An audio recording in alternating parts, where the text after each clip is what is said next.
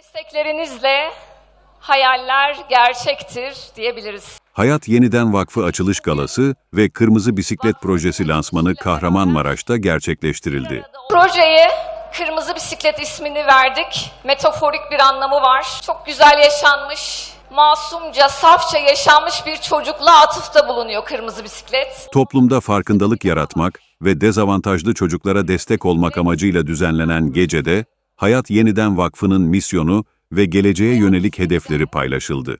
Ayrıca Kahramanmaraş merkezli bir kuruluş olan vakfın en özel projelerinden Kırmızı Bisiklet Yetimler Projesi tanıtıldı.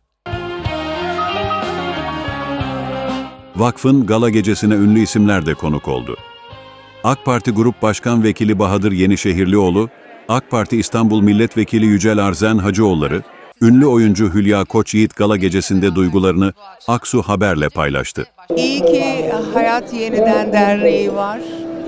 Ee, hayat yeniden iyiliklerle güzelleşecek ve yeşerecek. İyilik bulaşıcıdır. Ne kadar çok iyilik hareketinde bulunursak o kadar çok insanın hayatına dokunuruz.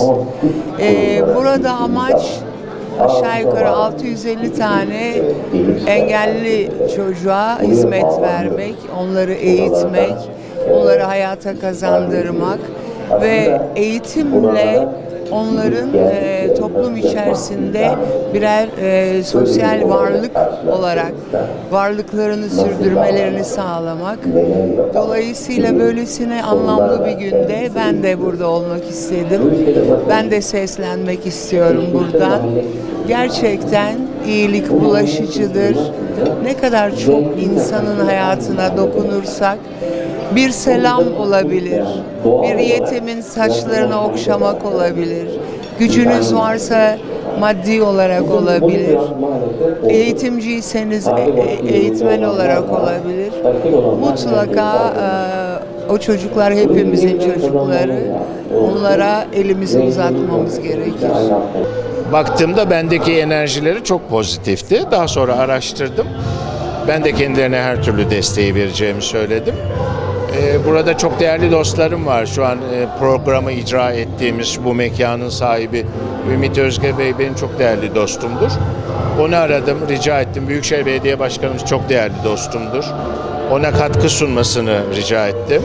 Onlar da kırmadılar. Böylelikle diğer paydaşlarla daha pek çok paydaşı var. Çünkü bu tek kişinin sahipleneceği bir şey değil hepimizin sahiplenmesi gereken. Çünkü bu çocuklar hepimizin çocukları. Burada artık şu görüş, bu görüş yani siyasetin ötesinde, farklı düşünce yapılarının ötesinde sadece yara sarmak için bir araya gelmemiz gereken organizasyonlar ki ben bunu bütün Türkiye'de zaten çok önemsiyorum. Biraz önce konuşmamda da söylediğim gibi Kahramanmaraş'ın bende ayrı bir yeri var. Buranın hemşerisi gibi görüyorum kendimi, vatandaşı gibi görüyorum. Ve bu bir edebiyatçı olarak da belki bu sebeple öyle hissediyorum. Bu Kahramanmaraş'ın toprağında bir e, garip tılsım var. İnsanı kendine çeken. Hep söylerim benim sanat hayatım da burada başladı. O yüzden müstakil bir yer benim için. Doğduğum şehir kadar önemli bir yer. O sebeple bu hareketin burada başlıyor olması ve yayılacak olması güzel bir şey. Önemli olan burada samimiyettir. Başta Zeynep Hanım ol- olmak üzere bütün ekibe, Didem Hanım'a, Ayşe Hanım'a ki yani bu, bu yükü hakikaten çok e, çektiler e, hanımefendiler. E, Yeniden Hayat Vakfı yapısı itibariyle, işlevi itibariyle e, çok ümit verici. O yüzden bu e, buradayım. Yani başka bir sebepten dolayı değil. E, hayat akar. Hayat yeniden ve yeniden başlanılan bir şeydir. Tebrik ediyorum hepsini. Çok güzel bir etkinlik oldu. Sağ olun, var. Bu dava hor bu dava